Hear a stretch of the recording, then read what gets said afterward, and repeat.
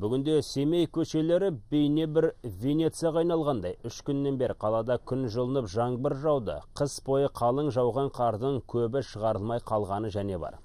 Шаһардағы алты көшеде су деңгейі көтеріліп, әсіресе Қабанбай Батыр, Би, Боранбай, Найманбаев сияқты көшелерде қоғамдық көлік жүруіне қиындықтар туындап отыр.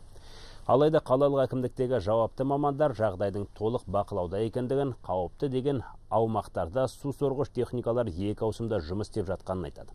Бұл жұмыстарға 20 техника жұмылдырылған. Биліктегілердің сөзіне сенсек, алдағы уақытта артық суларда ағызатын арнайы арық жүйесі жасалады таких коллапсов мы сейчас пока не видим. Дабыл қағатындай керемет қауіпті көріп тұрғанымыз жоқ. Жұмыс жоспары жасалып жауапты мекемелер анықталған. Таңертең сағат тоғыздан кешкі сағат он бірге дейін біздің кезекшілер тұрғындардың арыз шағымымен жұмыс істейді.